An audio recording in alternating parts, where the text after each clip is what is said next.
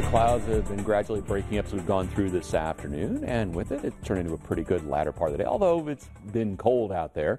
Temperatures have been running in the 30s throughout the course of the day, but this is from our Kentucky One Health Weather Bug camera located at St. Joseph Jessamine there in Nicholasville.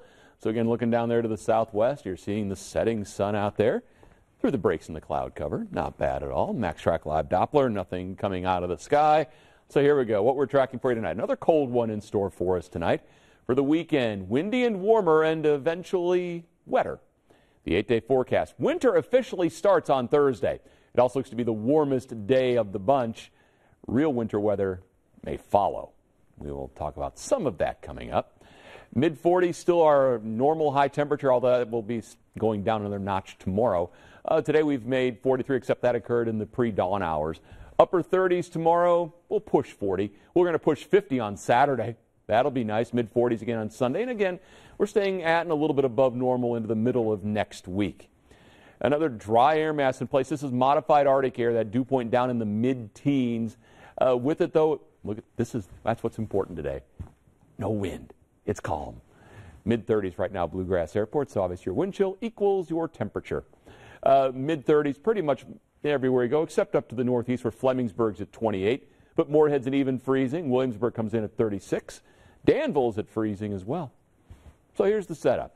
Lake effect snow coming down Lake Michigan there, hitting northern Indiana. Uh, you've got a few snow showers coming down off of Lake Erie, going across northeast Ohio into parts of Pennsylvania and West Virginia. But for us, those wind trajectories are not snowmaking. So we have been quiet today.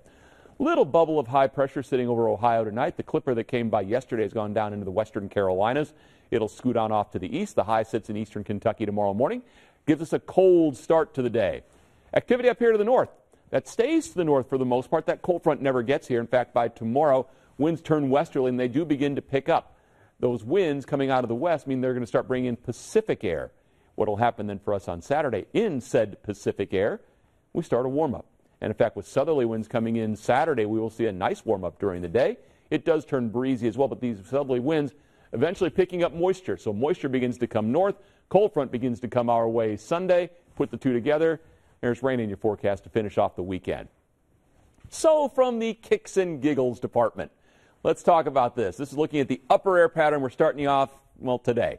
So big trough sitting up here in eastern Canada. There's your ridge out in the western part of the continent. That actually collapses a little bit early in the week. That's your little bit of a warm up that comes in. But you notice that ridge begins to go back up again. That's the hump that you see right in there. When that happens, you start dislodging the Arctic air from way up here. Combine that with a ridge out here in the Atlantic that starts heading up toward Greenland. You squeeze the two, sends cold air southward. We're looking Saturday, which is the Christmas Eve Eve Bottom line is colder temperatures may be in the offing as we start looking a little further ahead. So let's enjoy what we've got before that. 20 tonight. Okay, it's your cold night tonight under a partly to mostly cloudy sky. It's a cloud sun mix tomorrow on the chilly side. Can't really call it warm, but temperature's warmer than today. We will be warmer on Saturday, right up around 50. It'll be a breezy day. Rain moves in Sunday afternoon. We're in the mid 40s. We stay mild going into the early part of next week. We could hit 60 on the first day of winter. Hey. That's the top of the mountain. Yeah. Yeah. It's the valley on the other side that you got to worry about. Yeah, we get it. Just it. like sledding. Yeah, I'm done with metaphors now. Okay.